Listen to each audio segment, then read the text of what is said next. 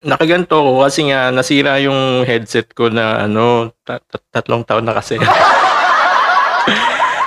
Alam ko nadadagan-daganan lang pero feeling ko may nakatapak. yung pinaka-wire niyang gano'n, natang, as in, bumuk, bum, nahubaran na siya ng, huba, nahubadan na siya.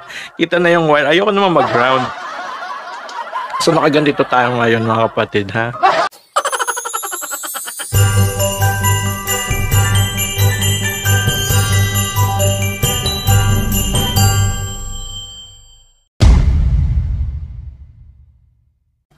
Hello mga bakla! Welcome na naman sa isang walang kakwenta-kwentang channel na ito. Gagawa na naman tayo ng isang reaction video. Oo, titira na naman tayo. titira, na naman tayo ng uh, Jollibee commercial. At ito yung isa sa ano sa mga trilogy. Akala ko kasi nagawa ko na yung tatlo. iba iba pa iba pala yun. Iba pala yung nailagay, yung nagawan ko ng reaction video. Yung Mother's Day special ng Jollibee, kwentong Jollibee commercial. May isa, may isa akong hindi talaga nagawa. Ito yon At ang pinamagat, nabubulol pa Ito yung kwentong Jollibee Mother's Day Trilogy. Test. Sa mga may pangalang test, paumanhin ha. Pauman... Hindi ko nagawa ng reaction video yung ano alam mo, hindi ko marinig sarili ko, hindi ako sanay na ganito kasi nga nasira yung headset. Yung headset ko ng cellphone, oh, cellphone lang ginagamit. cellphone lang ginagamit ko sa mga video ko. Um, nasira siya, napat, alam mo nahubadan yung pinaka parang ano niya rubber o yung protective camera na puti nahubad nahubad siya tapos may wire na lang yung ayoko naman mag-ground di ba baka, baka mategi tayo eh ngayon nasa-stress ako ng medyo, kaya basahin kilikili ko. diba, init pa rin. Ang init, hindi ko marinig sarili ko. Hindi ko alam kung anong magiging itsura at ng video na ito. Bah- bahala na lang. Pero God willing, maitawid natin. Okay? Bago natin simulan ng reaction video na ito, kung gusto niyo pa ng maraming, maraming... bago natin simulan ng reaction video na ito, bago natin simulan... Hindi talaga ako sanay nung walang headset. Ano ba? Hindi ko naririnig sarili ko. Game na. Basta talagang kiligili ko. Pamanhin. Pamanhin, mami. Mga mamis. Okay. Bago natin simulan ng reaction video na ito para malaman ko pa kung ano mga videos ang gusto nyong ipa-react sa akin kung, kung meron. Don't forget to subscribe, leave a comment na rin, babasahin ko yung mga comments ninyo later. Mabagal ako magbasa. Nasabi ko na yan dati. Pero salamat sa Diyos, marunong naman ako magbasa. And then, like and share the video. Okay? Halika na. Panoorin na natin ang kwentong Jollibee Mother's Day Trilogy. Isusot ko muna to. Sige. parang parang sobrang lakas ng ano ng laughter. Parang ewan ko na lang kung ano mangyari. Ay, talaga na nga. Kwentong Jollibee Mother's Day Trilogy Test. Kanali ka na. Inspired by a true story. Ang cute ni mami.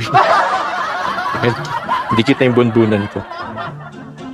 Mula nang dumating sa buhay ko si Tricia, sa kanya nang umikot ang mundo ko. Lakasan natin.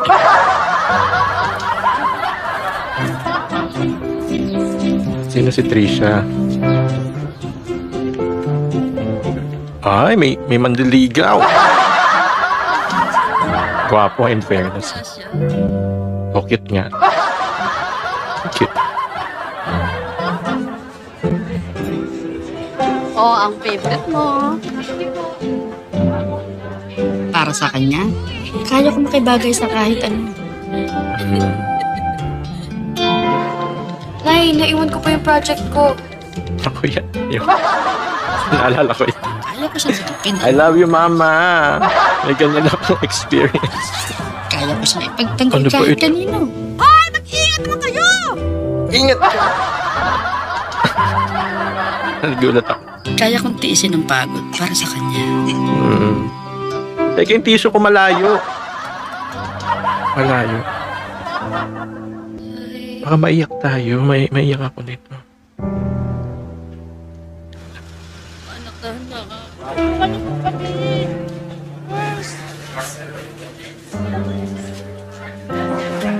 Mami Tess! siya sa inyo. Pero pwede kayo mag-donate ng dugo para sa anak niyo. Magka-blood type Kasi ba? Ganun lang, ba dapat? hindi ko kayang gawin para kay Tricia. Hindi po kami magkadugo. Ito po siya, anak. may iyak ako.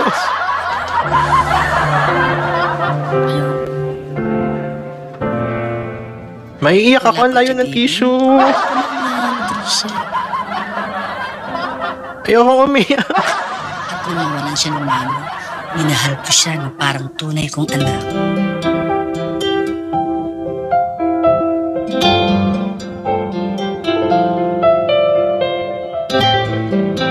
Ayoko umiyak. Hindi ako makakapagsalita.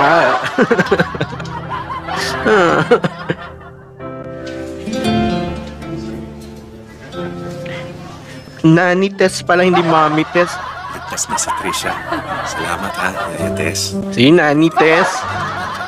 Naiiyak ako ah. Nanay Tess, Ito na yung paborito mo. Kala ko mami kasi Namiss magka-shape to. yung face nito. Mas na-miss kita. Yaya Tess! Pinapaiyak mo ako. Hindi maing tawag tinan mo. Ano ito? Dahil ang pagiging ina, hindi lang nasa dugo, kundi nasa puso. Hmm, ganda.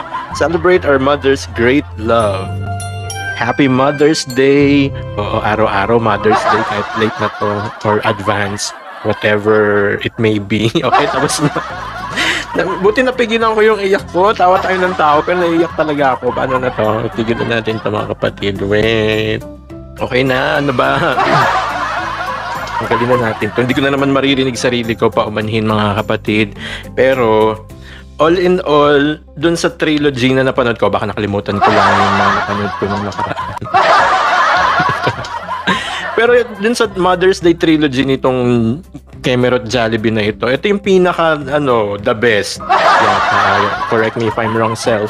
Sabihin mo yung videos mo. Pero, eh, kasi ito lang yung na, na-touch ako yun, naiyak ako naman, naiyak ako.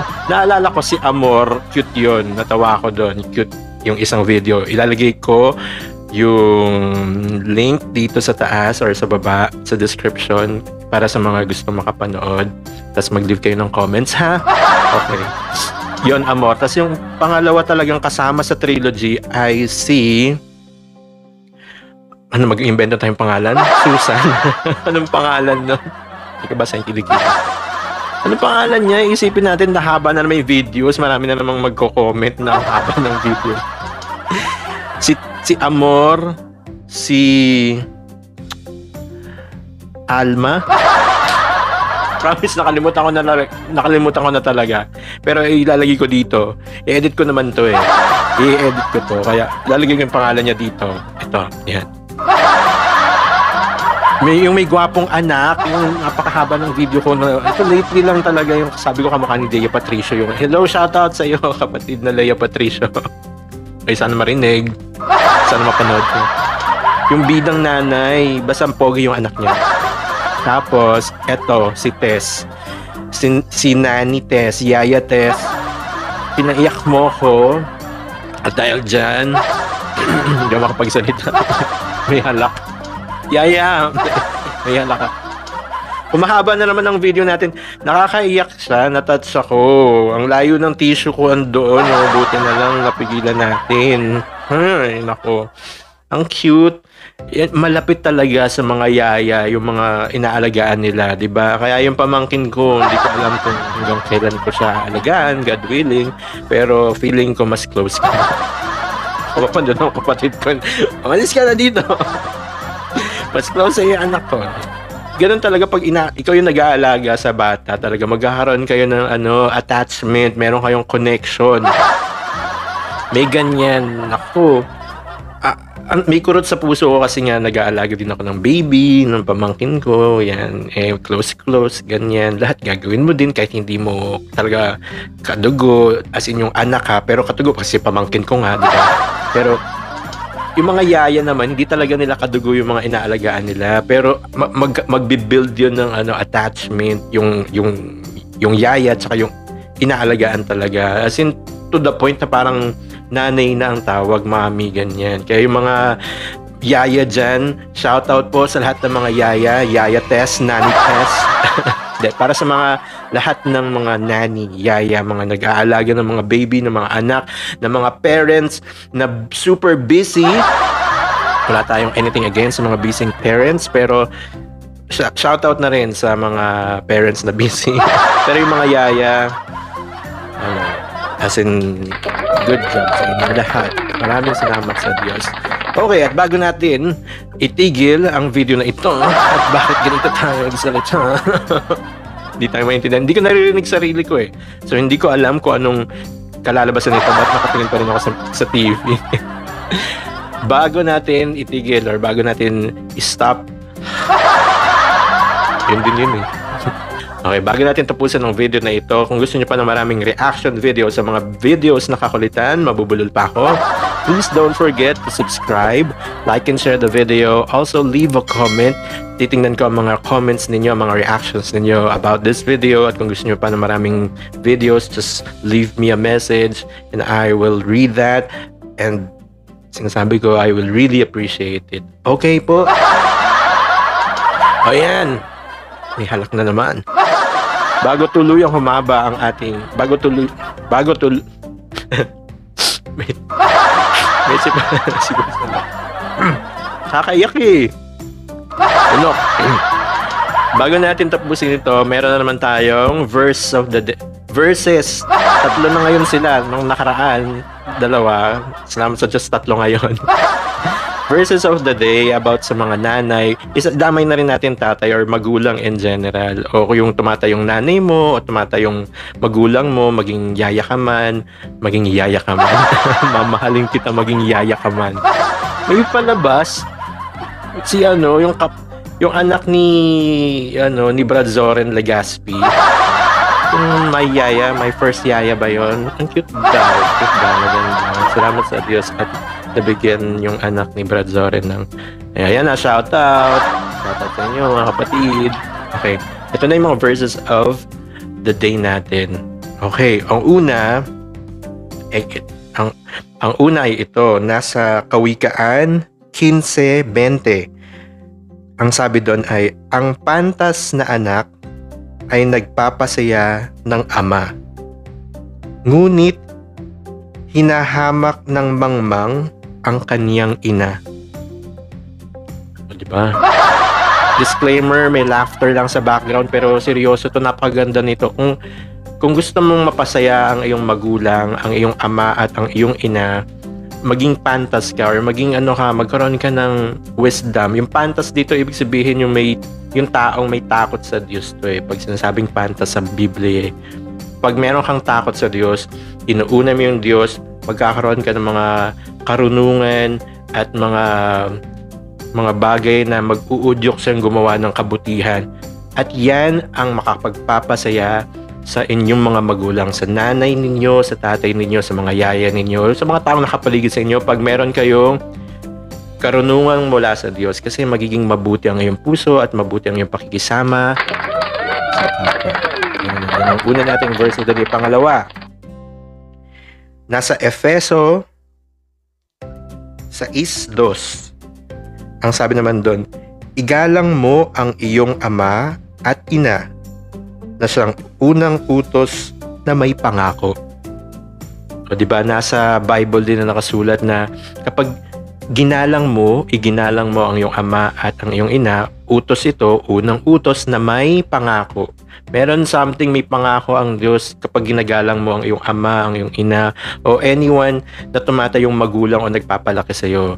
Mga makakapanood nito, igalang ninyo ang iyong ama at ina. Eh, ano yung pangako na yun? Tingnan natin kung ano yung pangako na yun. Disclaimer na naman may laughter pero sorry po.